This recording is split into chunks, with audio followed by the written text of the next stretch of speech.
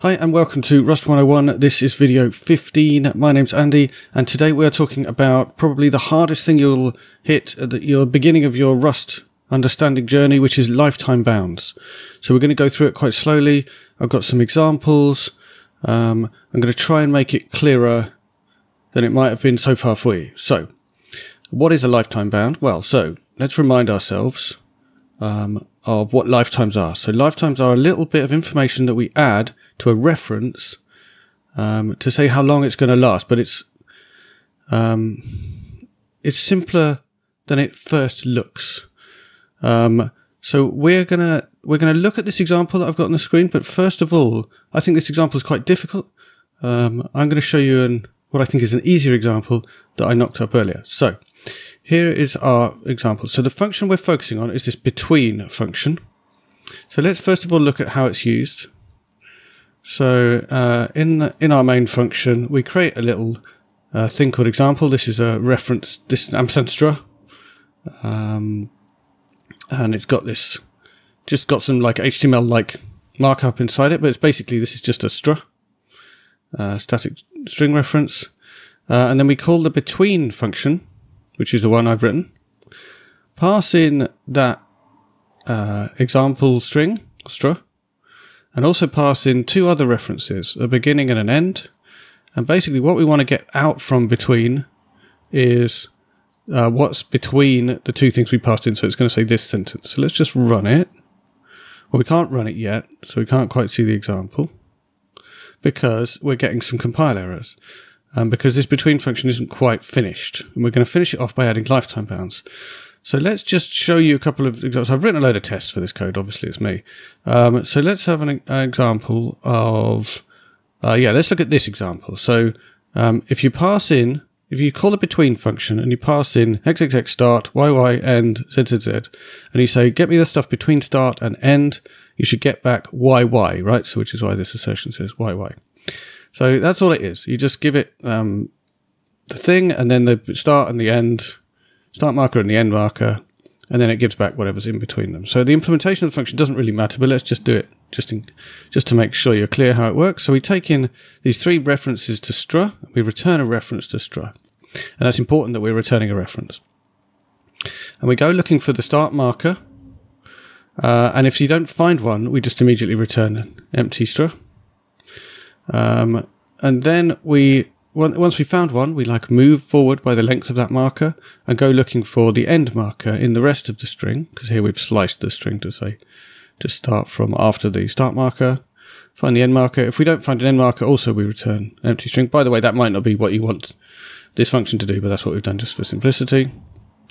Um, and then the final return value of this function is a slice from the start to so basically, the end of the start marker to the beginning of the end marker, which is what this start plus end gives us. So we just slice the string we were given uh, and return that slice. So what's key to notice about this function is that it returns a reference. If it returned a string uh, that, that was owned by the person who gets it back when they called this function, we wouldn't need to do anything. Um, this function would already be fine. But because we return a reference, we have to tell Rust some information about that reference that we're returning. So I think this is an absolutely key point to make that when we add lifetime bounds, which we're going to do in a second, which are these tick A things, tick B and stuff like that. Um, the reason why we do it is so that Rust knows what to do with the thing that we're returning. It's nothing to do with the code in here. Rust can read and understand the code in here fine. Rust needs to know when I'm calling this function, what am I allowed to do with this reference you've given me back? So let's think about what the Rust compiler has to think about when you call between. Well, the point is, Rust is normally able to just figure out like which th- what thing lives for long enough. So, for example, this example here, this is actually a static str. Um, so this is going to live for as long as we need it to. Uh, but what Rust has to figure out is what am I allowed to do with this tag contents thing that you've given me back? You're giving me back a reference. Therefore, it doesn't live forever. It refers to something that's owned by someone else. But who owns it? How long have I got um, before I have to say you're not allowed to use this tag contents thing anymore? So let's try and construct an example where we do something right or something wrong. So let's imagine we instead of these being static strs, let's make them be um, re- own strings. So let's say let uh, let's call it imp equal um, a string. Uh, let's have it do what should we do? Xxx and then a space. And then this is what we want to return and then a space. No let's let's do let's not use spaces let's use let's use curly brackets shall we and then y y y. So we want when we call between we want to get back that this right?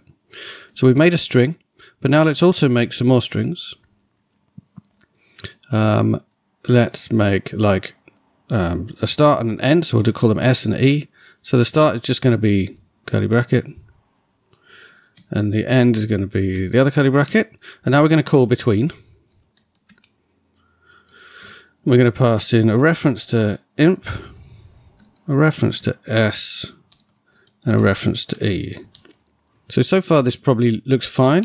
We're going to get the answer into a variable we're going to call answer. Let's call it answer so I don't have to say ants. Um, now the question is, the question the Rust compiler has to decide is, what can I do with answer? So if I wanted to say print out answer, like this, um, I just want to print it out. In fact, let's just say answer equals answer like that. So that's all going to work fine, right? Um, it, oh, sorry, it should be answer. Um, this looks like reasonable code. Like nothing wrong with it so far. The, the Rust compiler should accept it, so we should definitely add lifetime annotations that make this look okay. But what if we did this? What if we dropped S? Would it still be okay to run this code? Well, yeah, because between returns a reference to some part of imp. It doesn't doesn't care about s. It ha- it's finished with s once you've finished using the between function. But what if we did this? What if we dropped imp? So now imp is dead.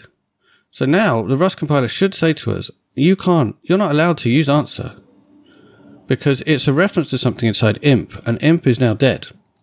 Right? So the whole point of lifetime annotations, the reason I've been waffling on about this code up here is because lifetime annotations are not for this function. They're for people using this function specifically to know uh, what can I do with this reference? How long does it last? after you return.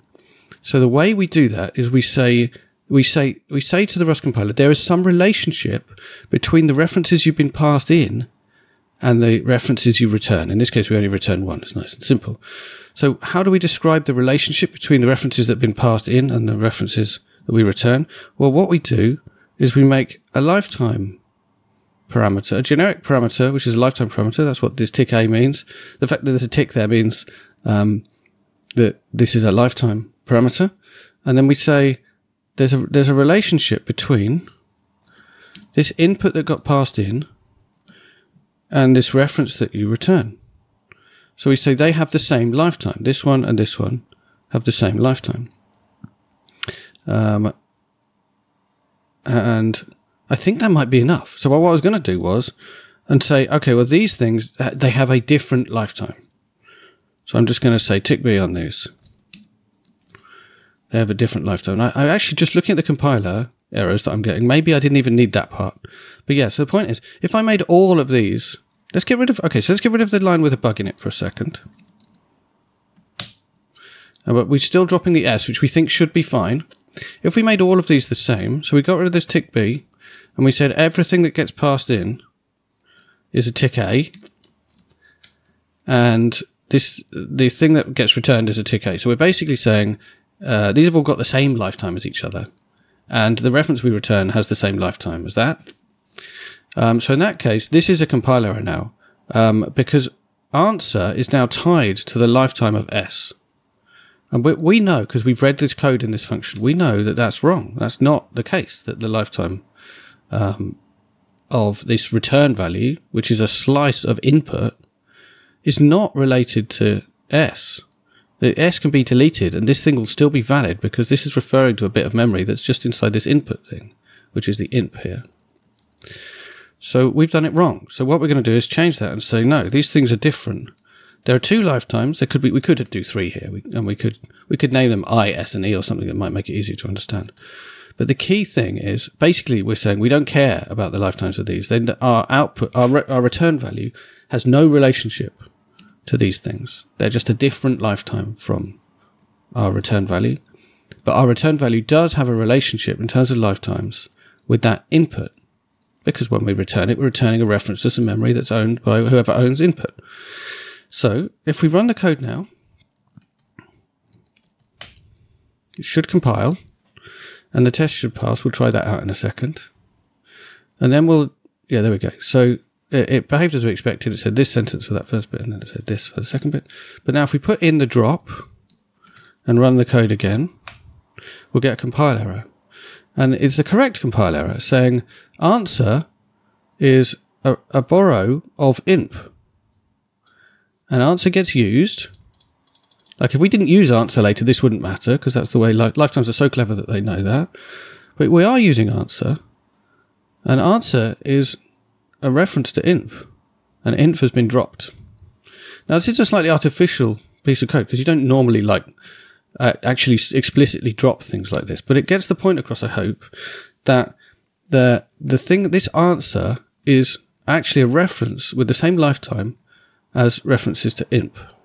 And we, the way we've expressed that is we've said tick A here is the same as tick A here. So this return value is has the same lifetime as input, but it doesn't have the same lifetime as these two things, so we don't care.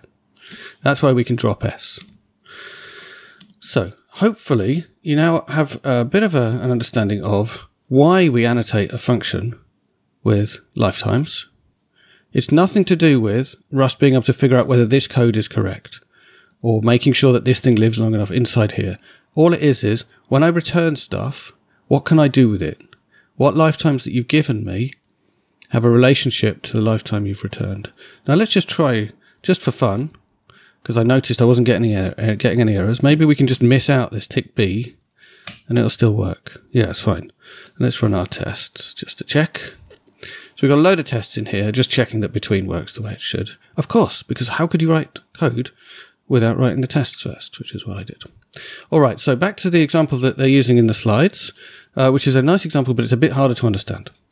So um, this this function, the reason it's difficult to understand is because um, it's the relationship between the return value and the inputs is more complicated than it was in my example, where it was, ob- it obvious there was just one uh, one reference being passed in that had whose lifetime we needed to kind of specify for the reference we were returning. In this case, we've got a complicated function where um, we're being passed in two strs.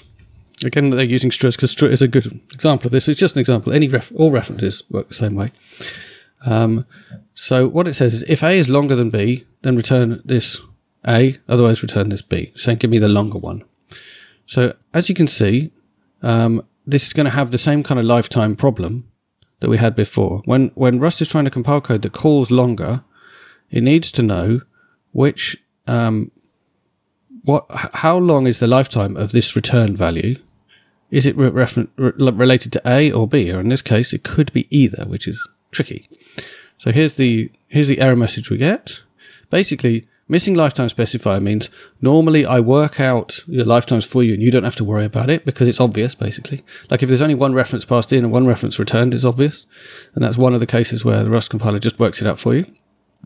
Um, but here it's saying I can't work it out for you. I expected or I needed uh, a lifetime parameter on this return value because I couldn't figure it out because the return type returns a borrowed value, but the signature doesn't say whether it's borrowed from this thing or this thing. So hopefully this compile error now is making a bit of sense, maybe because of hopefully the way I've explained it. We'll see. Um, so what they're saying is maybe you should add a lifetime parameter, just like we did earlier, and say that A and B have the same lifetime as each other, which is the lifetime of the return value. Um, and that's what they've done. And I think in this case, it's correct. So they, I don't think there should be a distinction in this case between the left and the right. Um, with the, they should both have a lifetime tick because essentially uh, it could be either of them. So we've got to say basically all these things have got the same lifetime effectively. Like it, essentially, Rust the compiler just chooses the shortest of the options it has when it's compiling code that calls this longer function.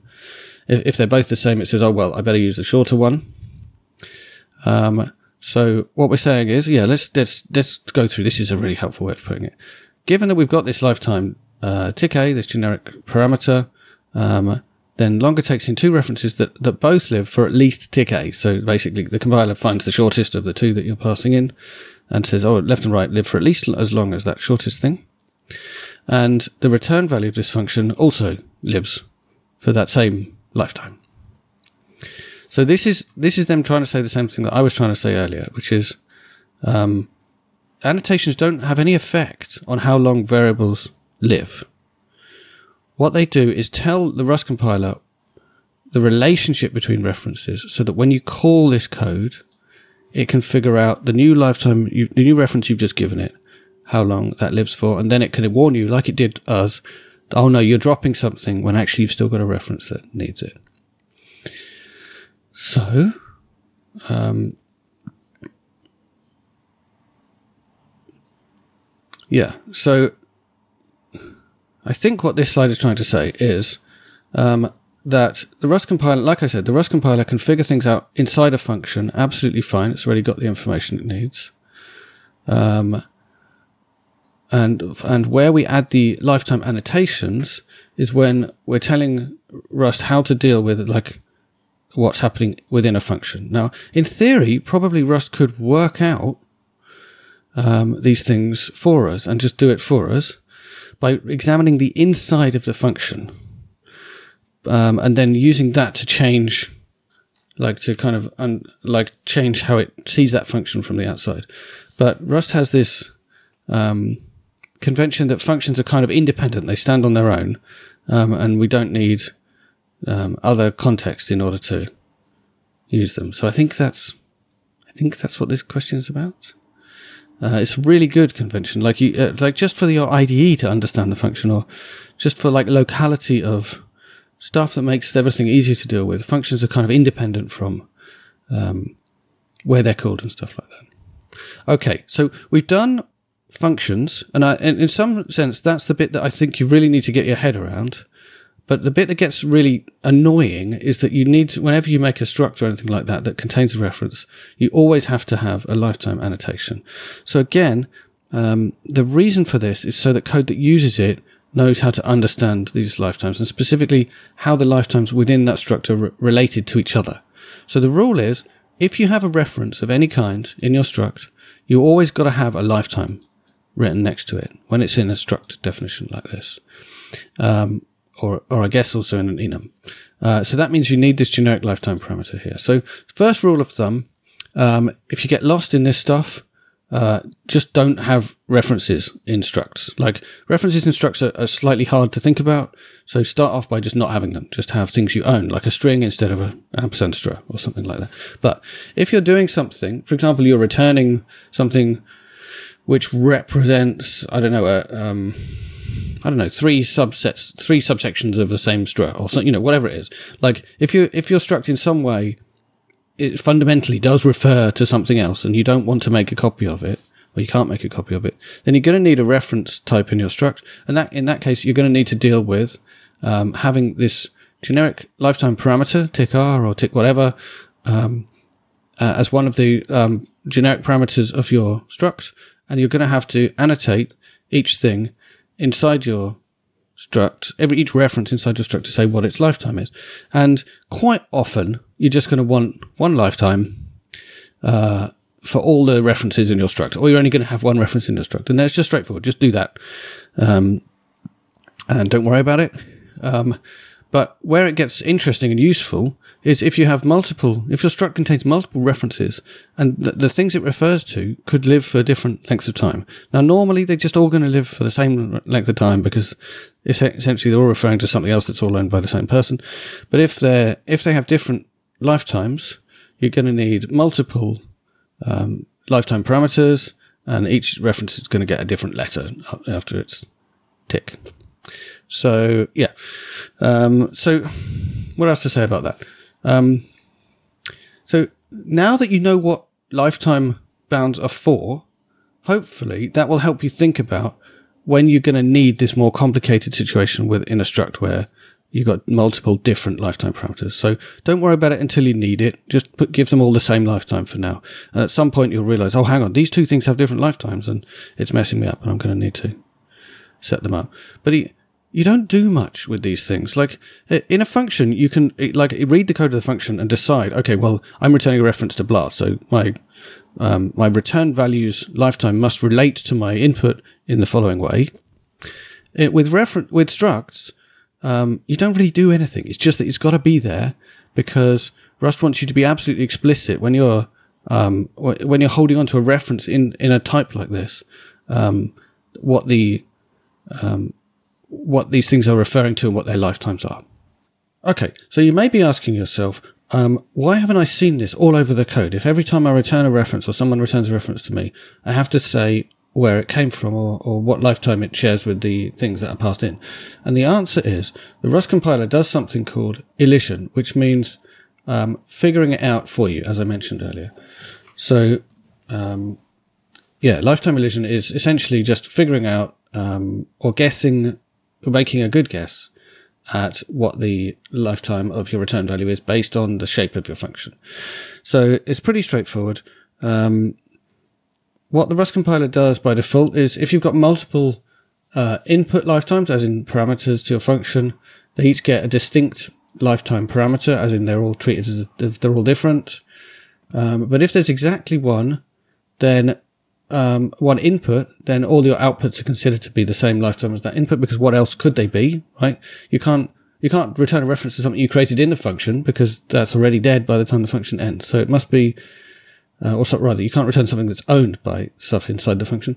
So you must be return if you're returning a reference, it must be a reference to something that was already owned before the function was called, right? So if you're only passing one thing, then obviously the return value is going to be that. Um, but there's also a more of a heuristic rule, which is um, if it's a method, so if it's got an ampersand self or ampersand mut self or whatever, um, then uh, we assume your return value is going to have the same lifetime as self. So that makes sense, right? If you're if you're calling uh, methods on an object that has a lifetime, it's quite likely the the return value. If you're saying like get name, it's quite likely that the reference you return is the same. Like that name is going to be owned by the the object you're calling the method on.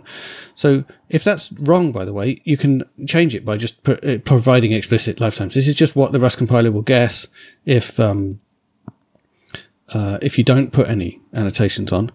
Um, and if it can't guess because you're not in that situation, either where there's exactly one input or if you've got, if you're a method, um, then it will tell you like the message we saw, which is like, I can't guess this. Okay. So some examples. Um,